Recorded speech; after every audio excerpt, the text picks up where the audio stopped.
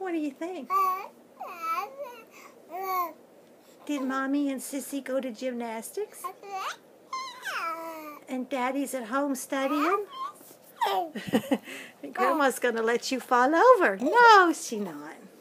No, she not.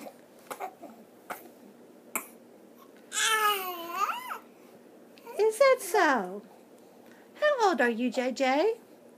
Let's see. You are three months and almost two weeks old.